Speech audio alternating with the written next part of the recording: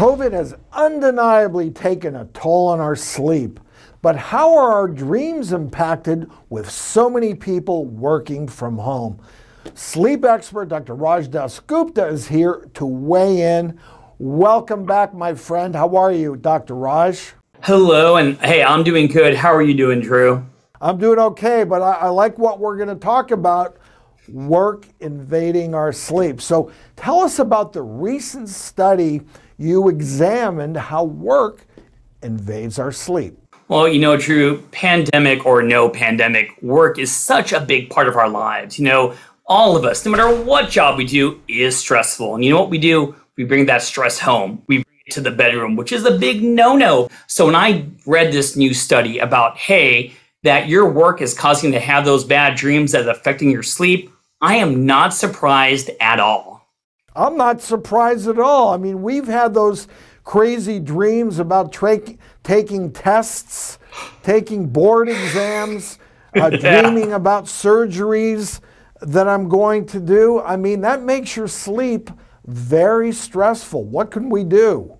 Well, you know, I think the first thing is I want to let everyone know that you dream in all stages of sleep, you know, and there's two broad stages, non-REM and REM. And non-REM stands for non-rapid eye movement. And that's a dream, you know, and it's kind of like a little fuzzy and you don't know what it is, like a VHS movie, versus these REM dreams are very vivid. And you know what? You have these REM dreams closer to the morning, which is why many people wake up when we talk about uh, having a dream at night. And there are a difference between just having a bad dream and actually having a nightmare. It doesn't have to be about being chased by Freddy Krueger down a hallway or something.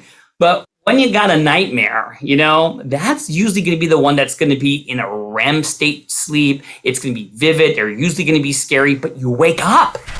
Then, if you want to graduate to the word disorder, then that means not only you're you having the nightmares and you're waking up, you can't go back to sleep you develop that secondary insomnia. And you know what happens is that you're going to be sleep deprived at work and you're going to get yelled at even more. So it's going to be that vicious, vicious cycle. And we got to break it.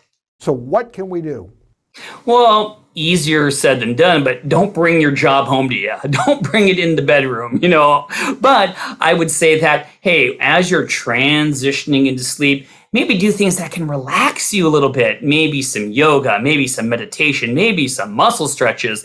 And, you know, don't put things that are going to get you kind of scared and set you up for nightmares at night. So don't be watching some of these shows that are, you know, are, are set up for nightmares like what is it? Squid Games, you know? Right. But one thing I do think I'm a big fan of is journaling.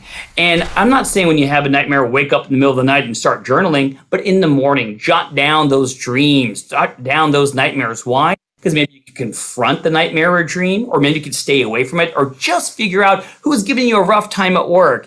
And of course, on top of that, maybe you want to break down, hey, what did you eat that day, or how did you exercise, or lack of? And all these things will help you eventually get a better night's sleep and obviously avoid things that may trigger you right before you're going to go to sleep. I mean, if you look at your phone and you know that there's going to be work related uh, stuff on the phone, okay, sometimes you, you do have to look at the phone, but if, if you know something is there and it can wait till the next day, that's probably better, right? Oh, you're spot on. And that's why we always say, hey, put technology away. I'm not worried about you just actually uh, listening to one song, but then you're right, it's that email from your boss. Then all of a sudden you start ruminating about you're not going to get enough sleep. So we're on the same page, Drew. Let's put that technology away. Right on, Dr. Raj.